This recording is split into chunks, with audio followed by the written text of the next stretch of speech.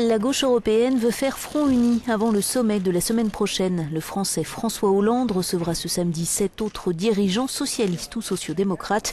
Parmi eux, l'Italien Matteo Renzi, qui a déjà fait savoir qu'il comptait bien obtenir plus de souplesse sur les budgets.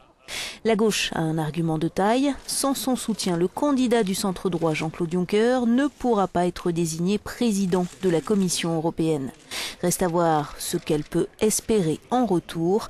Le vice-chancelier allemand Sigmar Gabriel, un social-démocrate, a bien proposé d'exclure une partie du coût des réformes du calcul des déficits, mais Angela Merkel y est foncièrement opposée.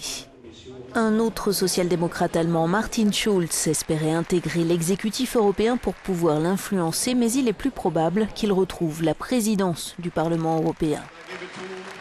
Ce mini-sommet du centre-gauche est aussi une réponse à celui du centre-droit. Il y a deux semaines, le Premier ministre suédois avait alors reçu la chancelière allemande et les dirigeants britanniques et néerlandais.